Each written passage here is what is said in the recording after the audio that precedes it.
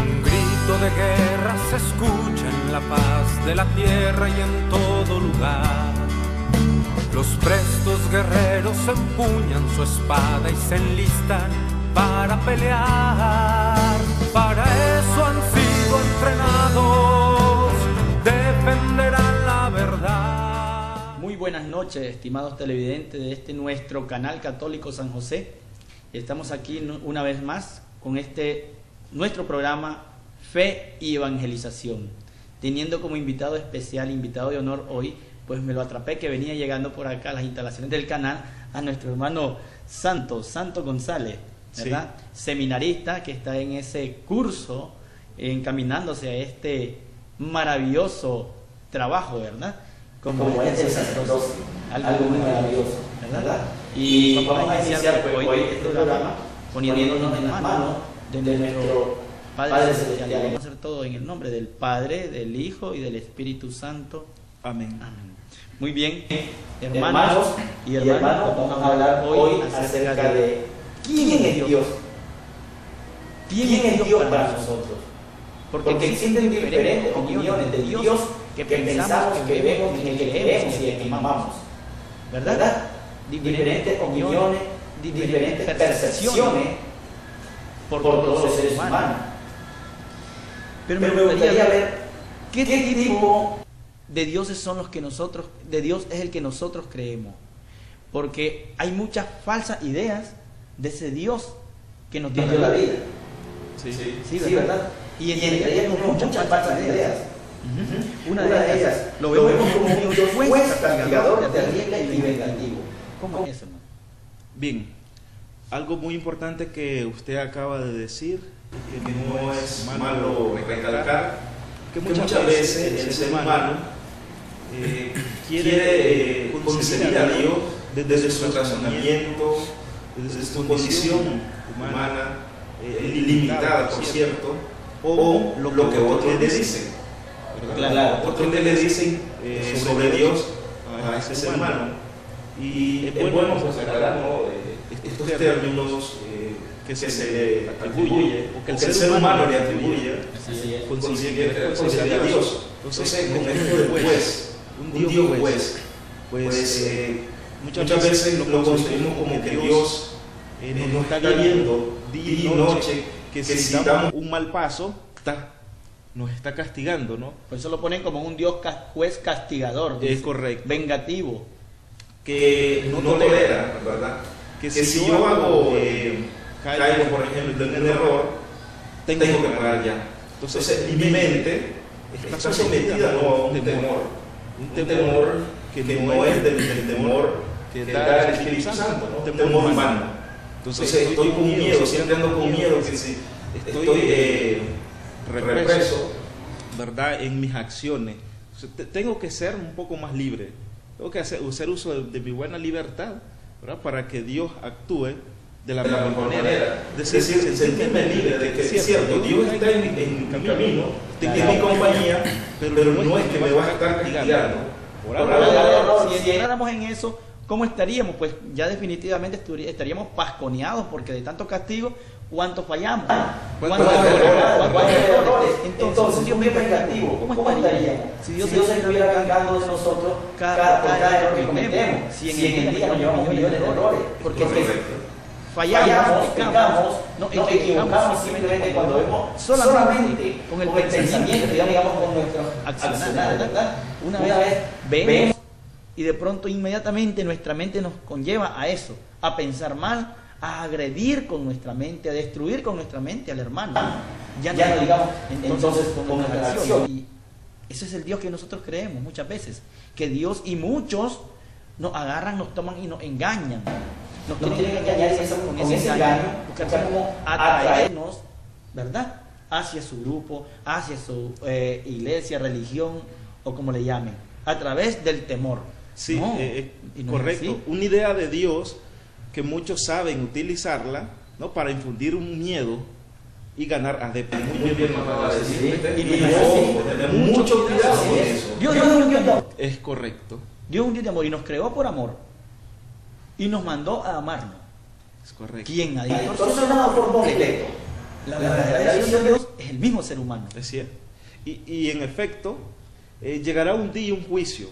Claro que Pues sí. Dios, Dios estará como un juez, pero va a ser nuestras acciones la misma libertad mía la que me va a juzgar, la que me va a ir poniendo lo bueno y lo malo.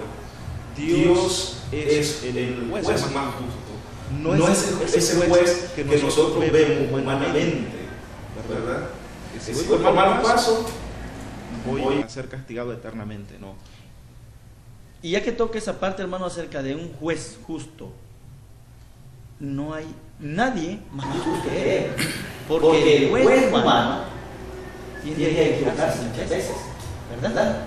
Muchísimas veces. Muchas veces se le da la verdad, se le da la razón al que tal vez no la tiene.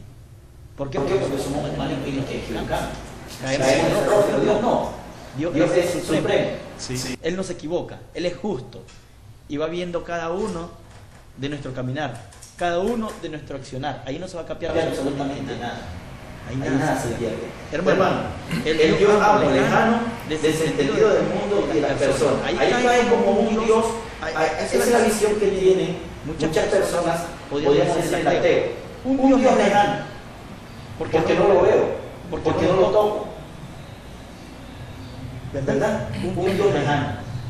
Desde, Desentendido por completo del del ser humano. humano. Pero, Pero ¿cuándo cuando Dios Dios nos ha desentendido a nosotros? Si Si cuando lo dejamos descansar. Si Si en todo momento le estamos llamando, le estamos llamando. Necesitamos de su ayuda. Necesitamos de su compañía. Que Él esté con nosotros. Claro que sí. Eh, y propiamente, muchos hemos caído en, en ese estado de que, de que sí, sí, yo creo en Dios, pero, pero a mi manera. Eh, voy una vez, por poner un ejemplo, una vez, una vez a la mesa, a la, misa, ya, no le llevo hago mal al vecino, por poner un ejemplo, me llevo bien con mis amigos, y ya, yo voy por buen camino. ¿Y Dios qué en tu vida?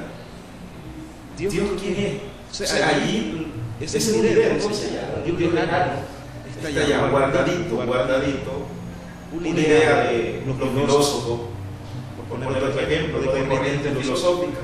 No, Dios es un Dios cercano, no un lejano, es un cercano porque en el rostro del semejante Dios se me manifiesta.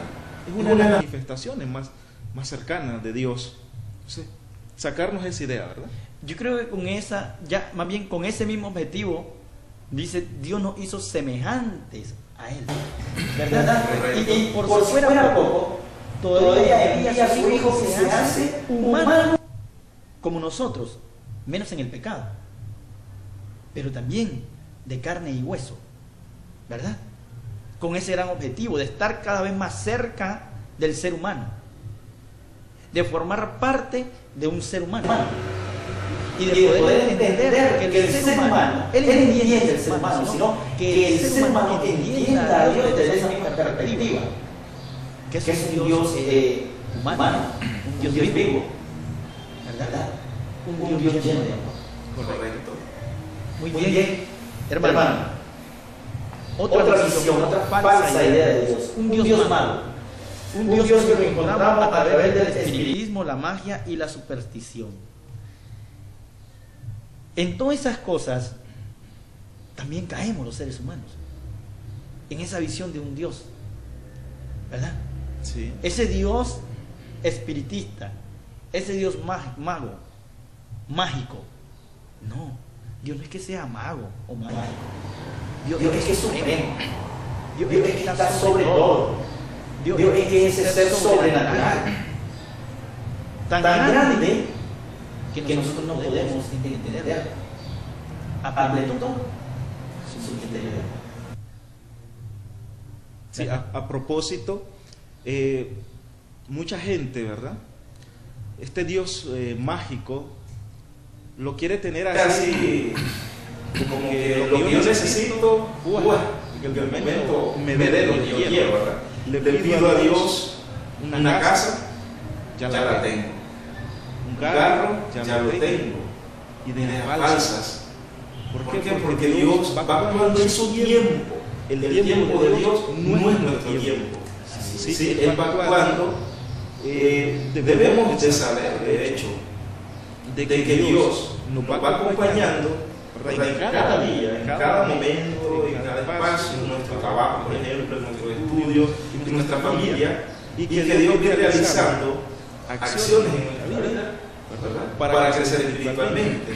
Pero no es que Dios así se manifiesta, es decir, como un mago, ¿verdad? Exactamente. Y, me viene ahorita eh, la, la, el ejemplo, por ejemplo, de cómo también la modernidad nos está afectando mucho en eso.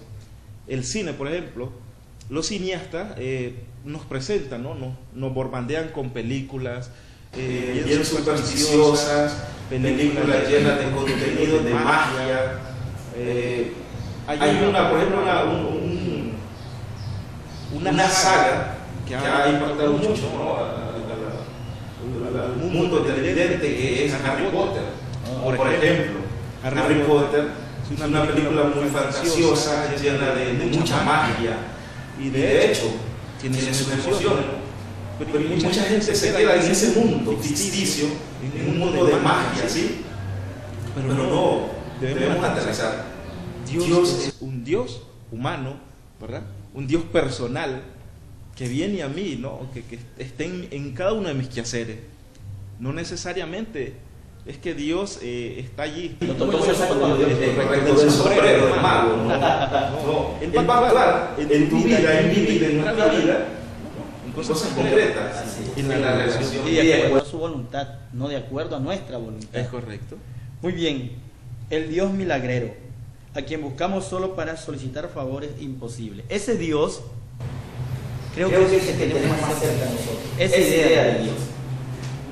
Estoy, Estoy con un problema que me, que me asfixia. Estoy con una angustia que no, que no me deja ya caminar, no me, no deja avanzar. Inmediatamente busco a Dios. Y no, es que yo no lo tenga que hacer, tengo que hacerlo. Porque es la única persona, el único ser, miren qué bonito te dije, la única persona, porque Él es la persona. El único ser capaz de escucharme y entenderme en mis necesidades. Porque, en ese momento es cuando uno mide la intensidad o el grado de amistad que puede tener uno con determinado ser humano. ¿Verdad? Más sin embargo, hablando de Dios, es un amigo de siempre, un amigo para siempre. Pero ahí venimos nosotros y caemos en errores. Mientras yo me siento que estoy bien, mientras yo tengo dinero, mientras yo no tengo problemas, mientras yo el pan de cada día en mi casa, estoy bien en la relación con mi familia, ¿verdad? Con mis compañeros de trabajo, con mi vecino, entonces yo no necesito de Dios. Estoy bien, no lo necesito, ahí está bien guardado, no lo ocupo ahorita. Cuando ya lo voy a necesitar, entonces sí yo lo busco. Cuando ya me estoy asfixiando, cuando se me vienen encima los problemas, cuando no tengo el dinero suficiente, para pagar lo que debo. Entonces, en ese momento Dios, o cuando se me viene una enfermedad encima de la cual yo no, puedo solucionar, cuando ya se le ha salido la mano al médico.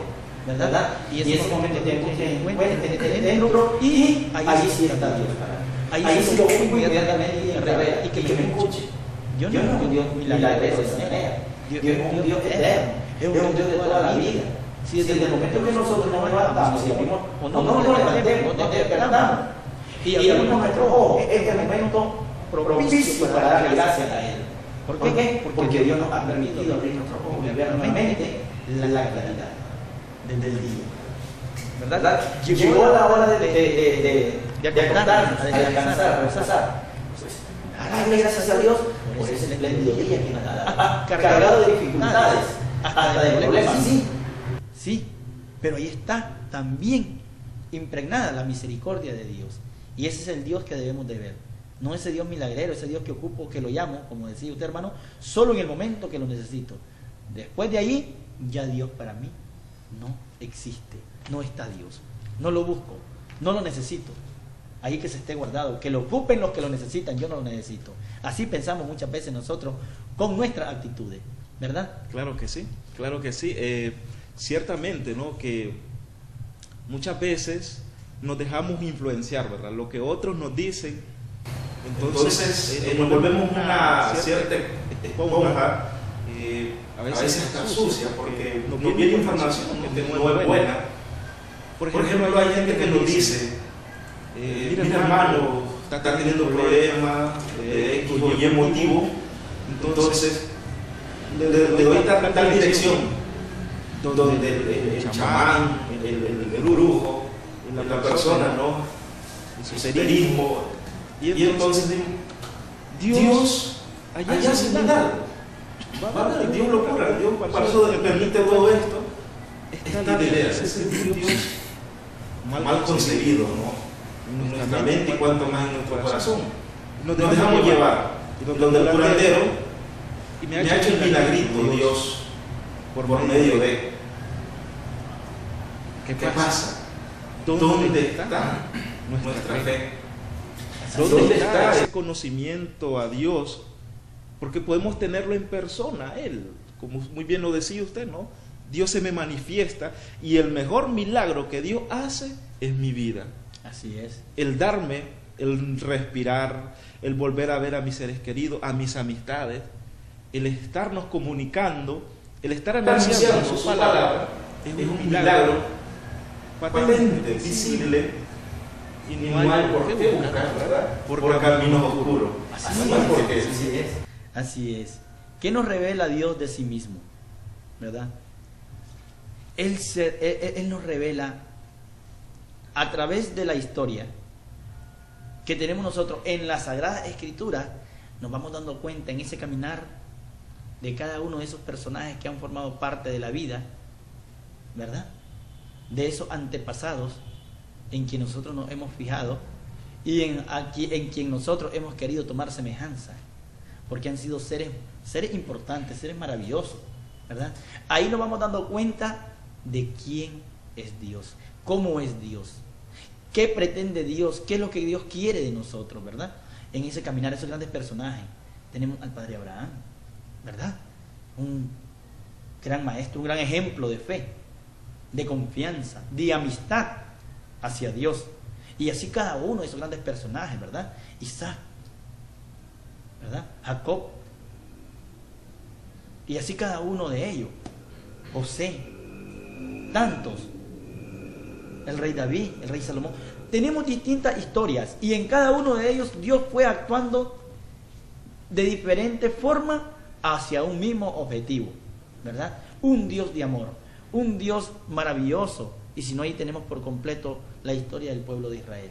Cómo Dios entrega su amor a ese pueblo y un pueblo que viene a darle la espalda y a traicionarlo luego, después de que Él ha hecho tantas maravillas por ellos, ¿verdad? Pero es así. Ese pueblo de Israel es el pueblo de Israel, somos todos nosotros todavía hoy en día, porque nosotros también hemos lesionado esa amistad con Dios cuando no realizamos su voluntad, con nuestras faltas, con nuestros pecados, con nuestros errores, ¿verdad? Pero bien, hablamos primero las falsas ideas de Dios, viene la contraparte. Ahora veremos, descubriremos, de acuerdo a la Biblia, ¿verdad? ¿Quién es Dios realmente para nosotros? ¿Quién es Dios para la humanidad? Se habla de un Dios único, ¿verdad? Un Dios único. Lo encontramos en Deuteronomio 6, capítulo 6, versículo 4, ¿verdad?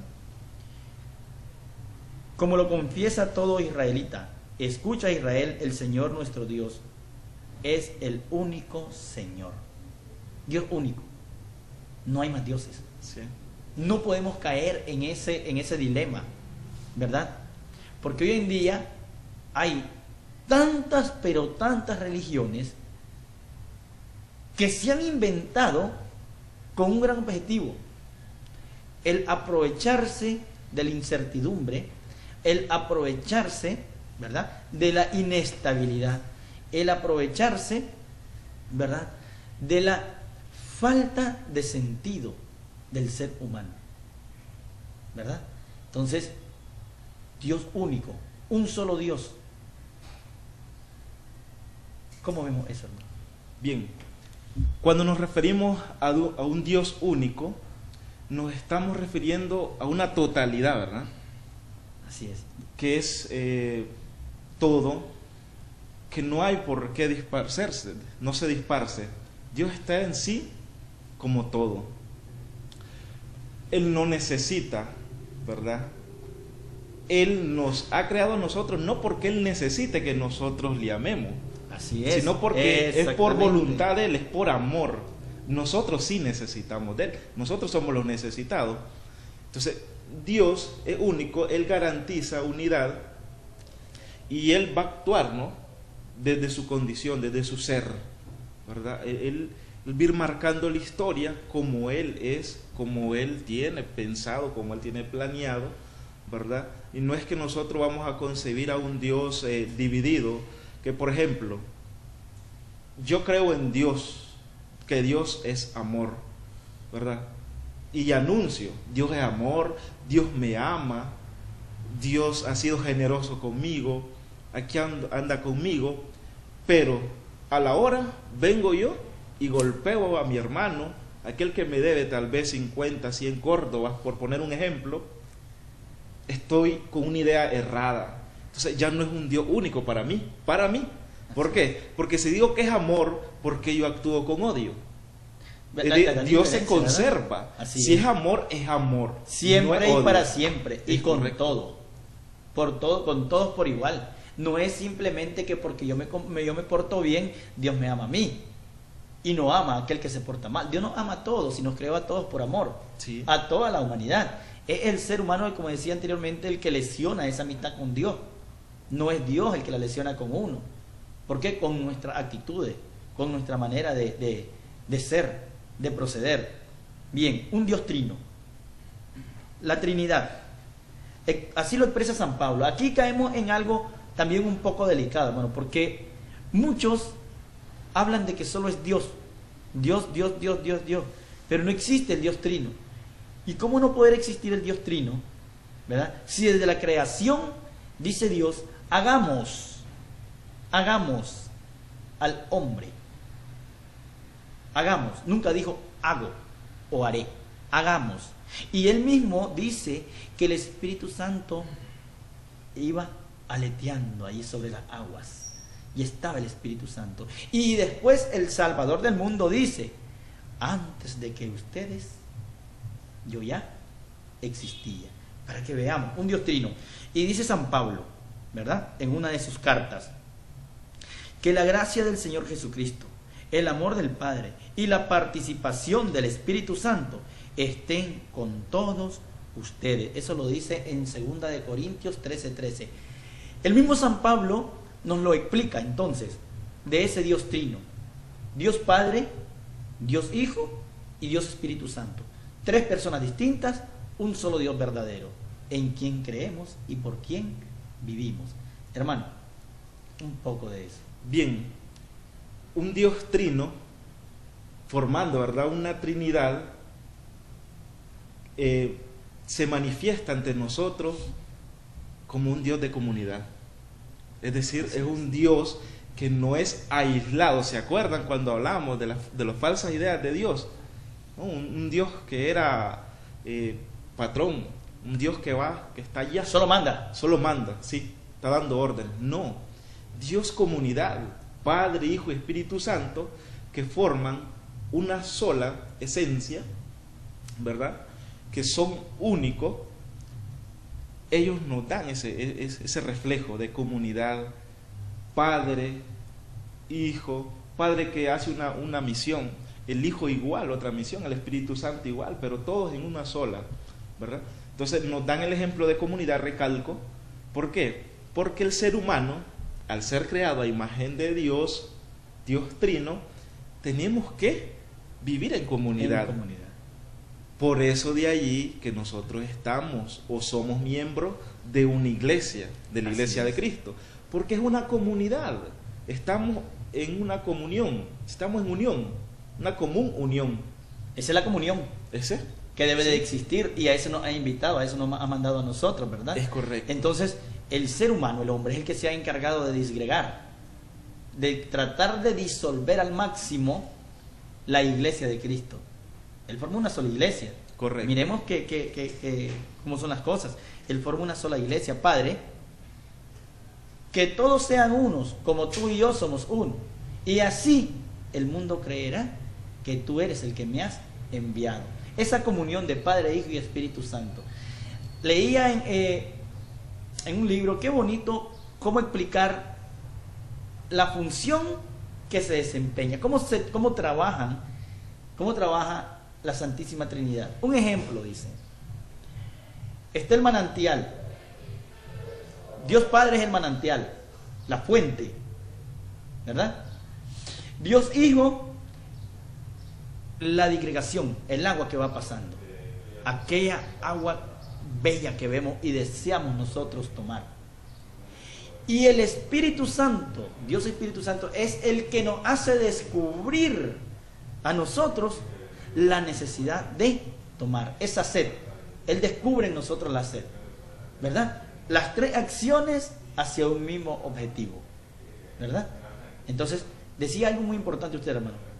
La comunión, Dios es comunidad, la comunión. Entonces, esas pequeñas comunidades no tienen por qué sentirse flojas, no tienen por qué sentirse ahí eh, eh, solas. No, si hay comunión entre ustedes, hermanos de las pequeñas comunidades, significa que Dios está con ustedes allí. Dios está con nosotros. ¿Por qué? porque donde hay comunión, donde hay amor, donde hay entendimiento, allí está Dios. Dios no entra donde está el desorden, donde está el odio. Ahí no existe Dios. Dios está donde está el amor, porque Dios es amor y nos manda a nosotros a amarnos. Qué bonito, ¿verdad? Muy bien. Tenemos a un Dios vivo, no un ser imaginario. ¿Verdad? Como afirma Moisés ante el pueblo hebreo, ¿qué hombre hay que pueda escuchar la voz del Dios viviente? Hablando en medio del fuego como lo hemos oído nosotros, sin que le cueste la vida. Eso lo encontramos en Deuteronomio 5:26.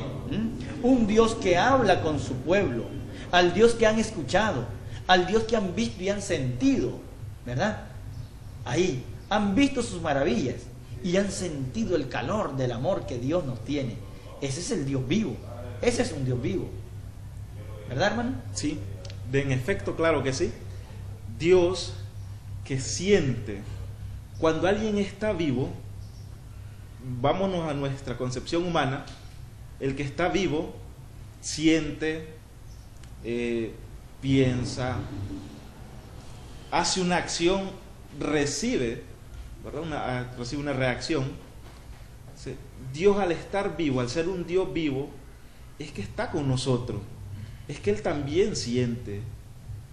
Si yo hago el bien, Dios está sumamente alegre. Dios se hace más presente. Pero si yo estoy metido en la maldad, en los vicios, ¿verdad? En el desorden, Dios en efecto se va a encontrar mal. Así es. Él, es decir, le, ponemos una barrera y no es que Él se aleje, somos nosotros que nos alejamos de Él. Pero entonces Él no está, no está bien.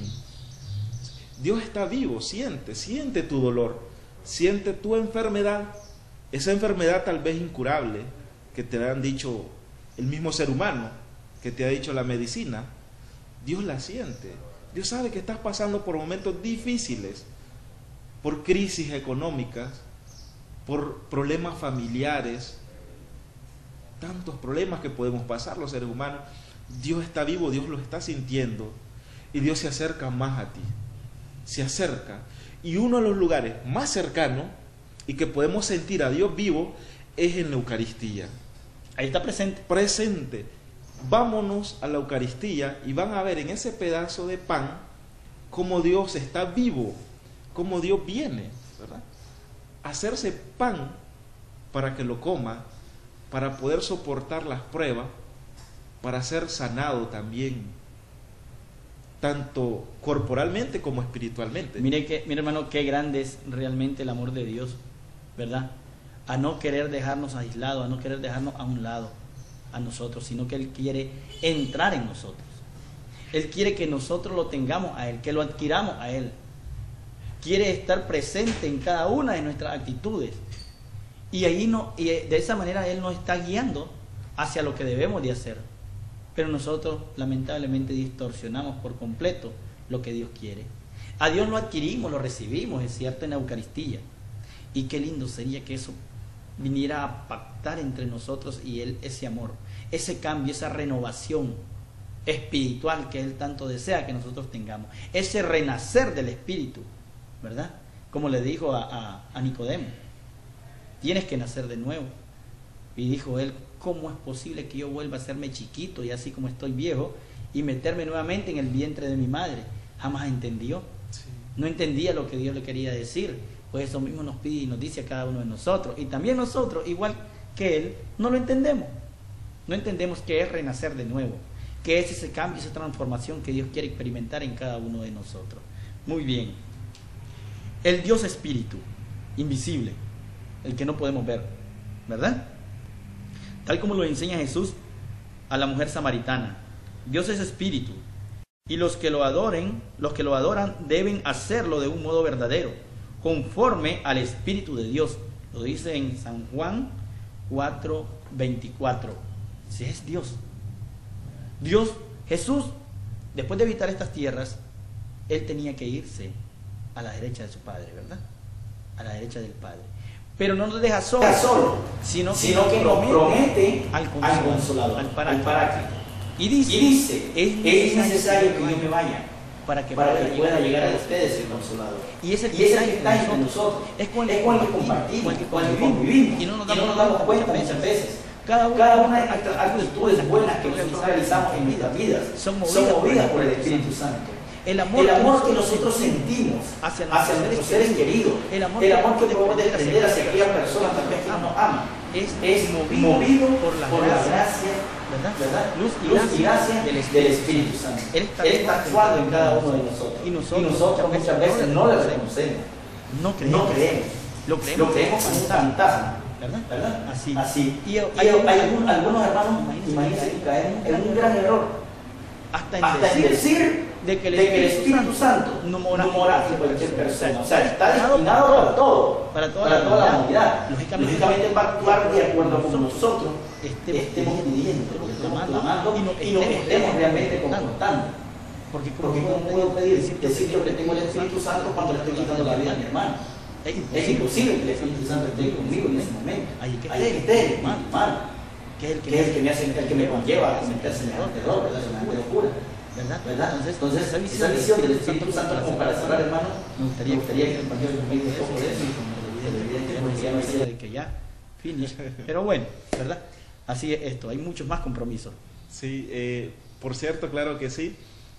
El Espíritu Santo que santifica, que nos va a dar vida, que nos va a reanimar. Recordarán eh, cuando se alaba, el Dios Trino, ¿sí? Dios Padre que crea, Dios Hijo ¿no? que salva, Dios Espíritu Santo que santifica, ¿no? que garantiza el amor. Entonces, este Dios Espíritu Santo es el que actúa en nuestra vida. Jesús nos dijo y le dijo, a, le dijo a sus apóstoles y nos dice a nosotros, le conviene que me vaya para que Él venga, Así es. para que Él también los asista. ¿Por qué? Porque también Jesús es el maestro. Él sabe que nosotros tenemos que aprender a caminar. Él no tiene que estar todo el tiempo con nosotros. Él dedicó tres años, ¿verdad? Visiblemente a enseñar, a dar ejemplo, a dejar una enseñanza de amor, ¿no? De, de anuncio, una enseñanza de que Dios nos ama, de que hay camino de salvación. Entonces Él se va, pero nos deja al Espíritu Santo para que nos reanime y para que nosotros con la ayuda del Espíritu Santo, podamos seguir ese camino de Cristo. Así es. ¿sí? Es decir, que nosotros también seamos parte de la salvación, parte del camino eterno. necesitamos el auxilio del Espíritu Santo. Hermano, ¿cuántas veces invocamos al Espíritu Santo en nuestra vida? Al levantarnos, al hacer alguna actividad, al acostarnos, al ir a estudiar, y ir a trabajar, en fin, en cada quehacer. ¿Cuántas veces? ¿Realmente tenemos al Espíritu Santo en la vida como el sello de Dios, como aquel que me acompaña, que dirige mis pasos? para tomar decisiones acertadas, ¿verdad? Para no dejarme llevar por falsas ideas. Así es. Falsas ideas de Dios, de Dios materialista, por, por poner ejemplo, ¿verdad? No, de Dios consumista, sino de un Dios de amor, de un Dios de compartir, de darse por entero, de un Dios que quiere que seamos felices. Entonces está en nuestras manos, ¿verdad? Así Invocar al Espíritu Santo, porque Él va a ser nuestro intérprete en cada, en cada acción que hagamos, en cada decisión que tomemos, cada proyecto que, que realicemos o que planteemos, Él nos va a iluminar y saber también que vamos a crecer como hijos más, más cercanos a, Dios. Muy bien, así es. Muy bien, estimado televidente, espero pues que haya disfrutado de este espacio de conversación en este programa, este su programa Evangelización. Le agradezco mucho al hermano pues que ha querido estar con nosotros, Santo González, seminarista, que para cual, al cual también pedimos a usted mucha oración para este caminar que él ha emprendido, que ha iniciado y ya va pues avanzadito y que Dios le dé fuerzas a él, ¿verdad? Así como hablábamos del Espíritu, entonces que el Espíritu de Dios le acompañe a él y a todos nosotros y nos ilumine para poder orar y pedir por todos estos futuros sacerdotes que tanta necesidad hay en nuestra vida, en nuestra iglesia, en todo el mundo entero. Muy bien, muchísimas gracias hermano, ha sido un gusto, un placer haberlo tenido por acá, pues que Dios lo bendiga y lo ayude a seguir adelante en ese caminar y a usted, estimado televidente, que Dios le protege y le acompañe, ¿verdad? Y nos quedamos siempre con la bendita y divina protección, todos, del Padre, del Hijo y del Espíritu Santo. Amén. Amén. ¡Que viva Cristo Rey!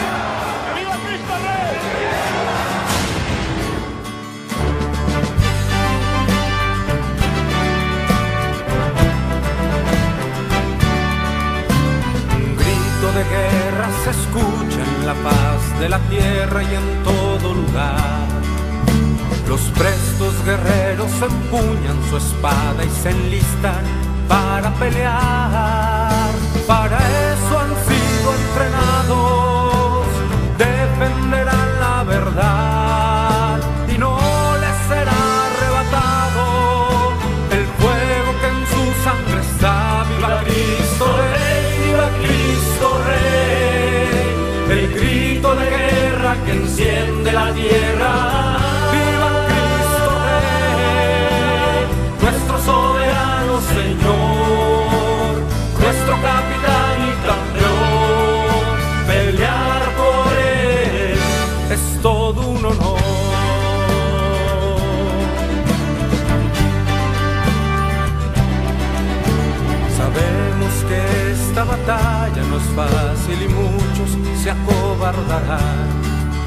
Y bajo los dardos de nuestro enemigo sin duda perecerán. Yo tendré mi espada en alto, como la usa mi Señor.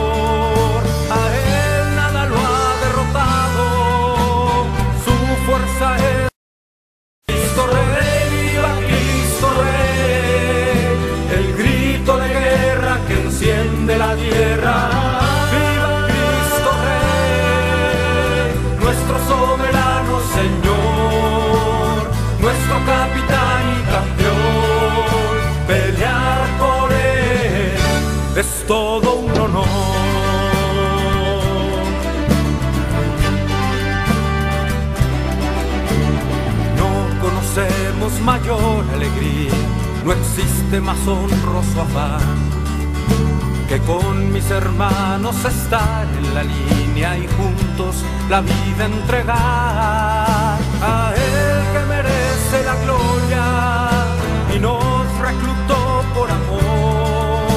Ante la rodilla se dobla y se postra el corazón. Viva Cristo Rey, viva Cristo Rey, tierra. Viva Cristo Rey, nuestro soberano Señor, nuestro capitán y campeón. Pelear por Él es todo un honor. Viva Cristo Rey, el grito de guerra que enciende la tierra. nuestro soberano Señor.